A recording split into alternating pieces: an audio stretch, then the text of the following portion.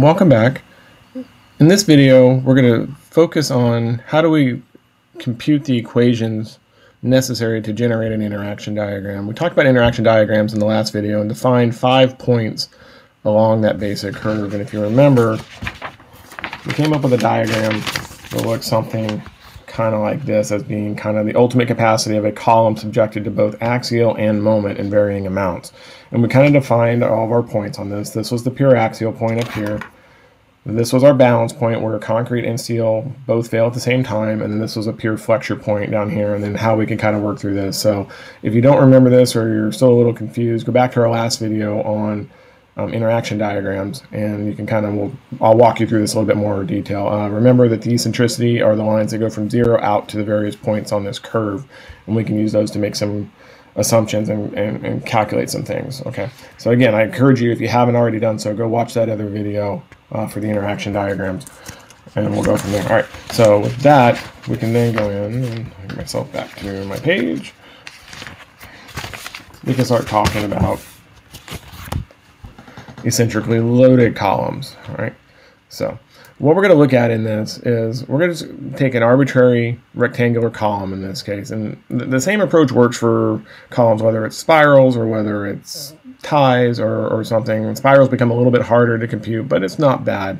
Okay, so the first picture that we're going to look look at, um, and it's all about drawing these pictures. And you'll notice just at first glance, this picture looks a whole lot like a Whitney diagram. Okay, in fact, you can see that it does have the 0.85 f prime c, and it does have the b, and then this height parameter, which was a when we were doing flexure, is now actually the whole height of the column. The whole thing is working.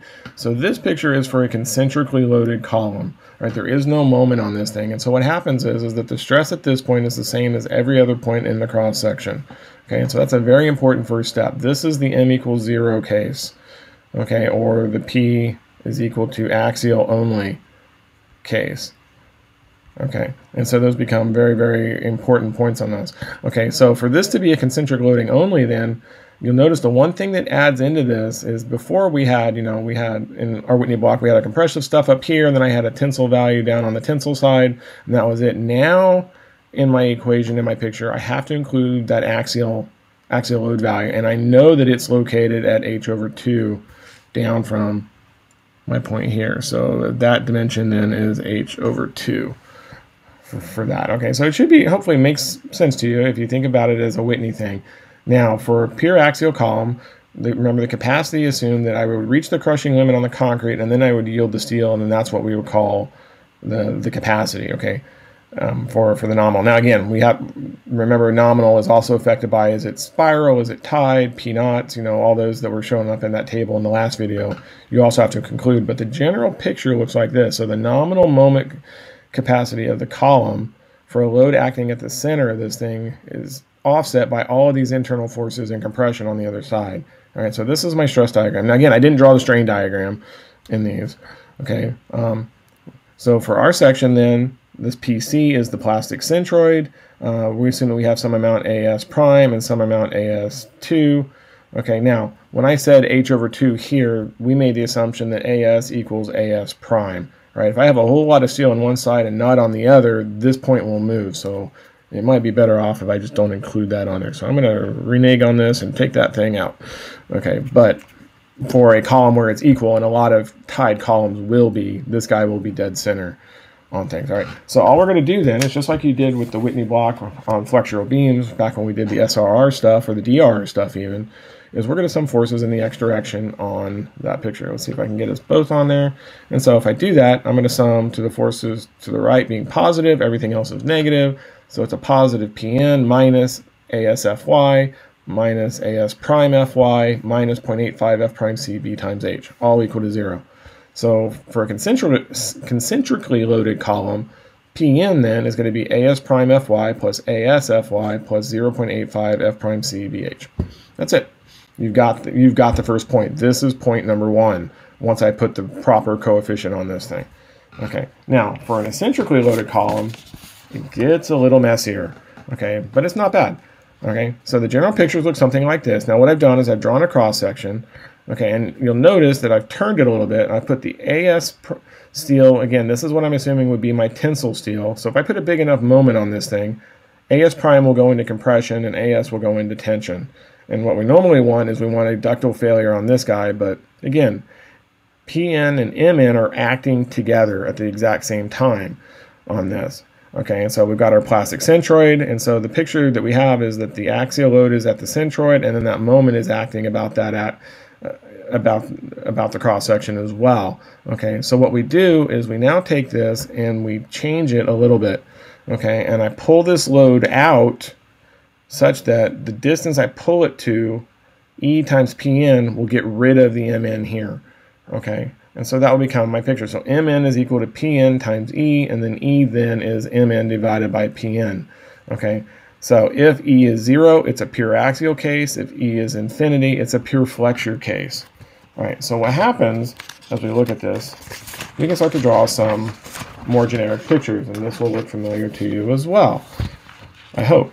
Okay, first one we're going to do is we're going to draw for an eccentric column, you know, with a depth of D and a height of H, on this and a depth of D prime to the second layer steel and a width of B on this.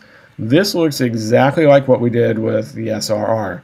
Okay, we're going to look at, we're going to start off with the balance case. Okay, and when that happens, I know that the strain in AS is epsilon y and the strain in the concrete at the top is 0.003. Okay, and then this point becomes the location of the neutral axis. And we're going to define that as being the balanced neutral axis. CB is going to be down at some point. Now, it may may line up with the plastic centroid, may not. It may be in the middle, it may not. It depends on kind of the ratios of these things, but it's exactly what you did before. Okay, so what we're going to do then is we're going to carry that neutral axis line through, okay, and I'm going to include my balance load, my PB load, by pulling it all the way out to get rid of the MB, right, and we're going to move that a distance of EB, off of this point here. So these two pieces are kind of a little bit different than what you're not used to seeing. Everything else is exactly the same. In fact, look, you've got, you know, the Whitney block depth is AB, the height of the stress is 0.85 F prime C. I have my force and compression in the in what would be the top bars or in the compression steel. I have my concrete resultant 0.85 F prime CB times AB. Okay, and then I have my ASFY in the tensile side, and then of course we have a moment arm that exists in here that is d minus ab over 2 coming from here to here. Okay, now if we go through and add a couple of other dimensions on this, we defined EB, which is the one that shows up on that interaction diagram, is going from the neutral axis up to the load. Okay, but if I'm going to try to write some equations, I kind of need to get some other dimensions in here. So that means then that the distance from A to this neutral axis will be d minus CB.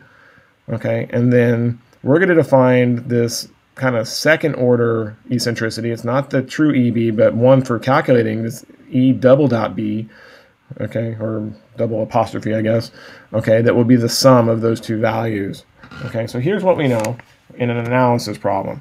Okay, we know AS, AS prime, B, D, D prime, double prime, Fy and F prime C. Okay, all seems reasonable. You know the steel, you know where it's located, and you know what the beam and the concrete is made out of and what the dimensions of the beam are. Okay, the things that we don't know in this are we don't know the balance load, we don't know the balance eccentricity, I don't know AB, and I don't know what the stress in Fs prime is. Okay, we do know the stress in Fs that Fs is equal to Fy. That's prescribed.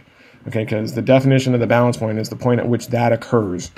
Okay, so we know that the, the, the balance moment is equal to the balance axial load multiplied by the balance eccentricity.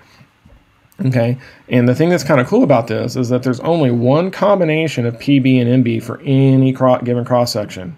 Okay, so there's only one point on that curve that we can define. So that's kind of a cool thought. Okay, and then we'll write down our E double tick uh, balance is equal to the EB that we want plus D minus CB. Okay, all right, so all we're going to do then is I'm going to take this picture and I'm going to sum forces in the x direction. So kind of like what we did for the concentric case, PB will be in there, this ASFS prime, this concrete resultant, and then ASFY will all show up in that. So I can pretty quickly write out the equation for PB accordingly as this. It's exactly like what we did with the concentric case, except now, once I know AB, I know PB. Okay. All right, and again, notice that what we've done, because it is a scenario where I end up with a part of the concrete in tension, we are still neglecting the tension in the concrete. So this part of the concrete does nothing for me. And that's why the Whitney block is applicable here. Okay, so it's just a straight Whitney calculation that we're doing on that. Okay, now, to get the moment equation, what we're going to do to kind of help us kind of simplify some of this stuff is I'm going to sum moments, choose the sum moments on this about the tensile steel, okay, which is why I needed this E prime prime uh, dimension, okay, because I could correlate that back to the EB that I really, really want on this. So we're going to sum moments right here, okay. So the first term is going to be PB times E double prime B, okay, is that moment that comes from this guy, and then I'm going to take the distance from here to here, which would be the concrete resultant, for this one. Okay, so that's going to be this distance, d minus ab over 2. And then the distance from ASFY to my compression steel, which will just be d minus d double prime. Okay, so should be no surprise, and that's exactly the formula that we've written here. And all of that's going to be equal to PB times E double prime B. Okay, now if we apply some mechanics, we can come up with some relationships for some pieces in this. All right, again, the one unknown in all of this is this AB thing. Okay, so we can do our strain compatibility just like you did with with flexure, and I can solve for what CB is going to be. That I know that the ratio of this to this dimension is the same as the ratio of this to this dimension, and I can solve for CB. And so that's what we're going to do here. That CB goes to 0.003 is the same as D going to 0.003 plus my epsilon y. Okay, and if it's 60 ksi, this number is roughly, you know, 0.005, if you will. Okay, CB then, if I rearrange all this, is just D times 87 over 87 plus Fy. Okay, and then I can go in and I am missing a D in that formula. Okay, and then I can multiply that by beta 1 to get me to an AB value. Okay, so if you look at it, I can get AB very, very easily. I know beta 1, I know D, and I know Fy. I can find him. Okay, as we start to kind of look at that process. Okay, and then we can write out a formula for fs prime, if you will, on this that is going to be kind of a strain compatibility kind of thing again. So fs prime, or epsilon s prime goes to cb minus d double prime is the same as 0.003 to cb. And if I rearrange all of this, okay, that I can find out what fs prime is going to be. And again, we're bounded by the rule that that guy has to be less than or equal to fy. So if you calculate him to be over fy, you have to cap it it can't take any more than that. And so that will help us get OCB. And so we can start to kind of play some games. So we'll keep track of those formulas. Okay, so what happens is, is we can take those formulas, and from 1 and 2, we can solve for PB. So that's our first equation. We talked about that one. Okay, and then once I have that, then I can solve for, you know, the epsilon double prime B, because I have a formula for this guy, and I can rewrite everything in terms of that. And then I can divide, this is that moment equation, and if I know PB, which I have to have first, I've got it from here because I now know AB, that I can solve for this E double prime B dimension. Okay, and then finally we know that E double prime B is the eccentricity that I really want, measured from the centroidal axis, plus D minus CB. We got it. And then once I have epsilon B, then I can calculate the, the balanced moment as a result. So it all comes through this guy. Once I get PB, I can now calculate this guy. All right, so here's what we find out. Okay, by looking at the picture, you would generate a graph that looks something kind of like this. That this is 0 and P naught, the pure axial load. This is MB and PB, and in fact, this kind of curve that happens. The eccentricity goes from here to here is EB, and then this is the pure flexure scenario, M naught, over here. What we know is, is that the line that goes through this point, if I draw that as a tick line, anything above this is a compression controls case. Okay, and anything below it is a tension controls case. All right, so what do we notice? Well, I can't really look at the moment because you know, moment above m naught doesn't tell me a whole lot. Okay, because here and here are both above m naught. But if I divide it this way, I have a clean break of this thing into two different sections. Okay, and so what we'll look at then is, is we'll start saying that, oh, if the nominal load on my column is greater than PB, the column is compression controlled. Okay, that your point will plot up here somewhere. Okay, and likewise, if Pn is less than Pb, the column is tension controlled, and it will plot down here somewhere. So that's kind of the basics of our interaction, what we're kind of trying to look at in the basic process. Okay, so I hope that's made some sense to you. Um, for my for the students, I'll kind of walk you through kind of the, the procedure for analyzing this. I've got a fairly complex beam. Okay, it's got some funky stirrup steels. Notice we haven't done anything with the stirrups or the shear design on this thing. We just know that we need them to provide confinement for the longitudinal bars. Okay, and so in this, what I've calculated is an F prime C that's 3,000 psi and an Fy that's 40,000 psi. Okay, and so the first thing that we ask is, well, which axis is considered to be the strong axis? Okay, and remember the definition of that. Okay, it has to do with Ix and Iy. It's kind of a supplemental question. Okay, and then we want to compute, according to that, we'll compute our AS and our AS prime. Okay, and then we can break into some different some different amounts, if you will, accordingly. So what's going to happen is, is one of these is going to go into tension, and then the other two are probably going to go into compression. And so that's why we kind of break this up. So what we're going to do is we're going to group that as AS, we're going to group this as AS1, and this is AS2 as you start to kind of look at, at that. Um, you'll notice that the, the detailing says that they're all um, all the same bar. They're all number 11s, fairly substantial. Okay, and then I also give you some spacings that should be fairly valid on those.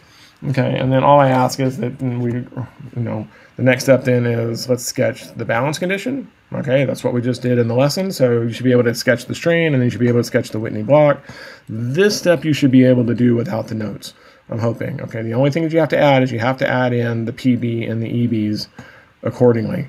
Okay, but everything that we've done, and I've said this all along, everything that we do comes back to the strain diagram and then it all comes back to Whitney as I start to kind of to work on that. Okay, and then once you've got that, now you can go in and it's just calculations to find AB, and then you calculate your stresses, make sure things have yielded like you thought they would. Okay, and then you can go in and with that, you can compute PB, no problem. I can compute MB once I have PB and EB, no problem. And then we can calculate the, the balance eccentricity as well on those. And that's kind of the packet that we're looking at being able to do. Right, and with that, I think we will end the lesson there. So I hope that's made some sense to you. Okay, it's kind of how do you calculate that balance point? The balance point by far is the most important of all of them because that's the one that tells me am I compression controlled, am I tension controlled? And then everything that we do will work off of that point as we start to move forward. And as you get into an advanced design class, uh, you'll use that, use those dies and use these interaction diagrams a whole lot more. Okay, in the coming videos, I'll show you some shortcut methods that don't require us to draw a Whitney. I'll go, we'll go to some, some pre-tabulated tables that will help us very quickly generate these curves so that we don't have to. They've generalized them, and those are pretty cool. But we'll save that for another video on another day. So anyway, I hope this has all made sense to you. As always, leave us some comments down below. Give us some feedback. Um, like the video, and as always, subscribe to the channel. And we will see you next time. Happy engineering.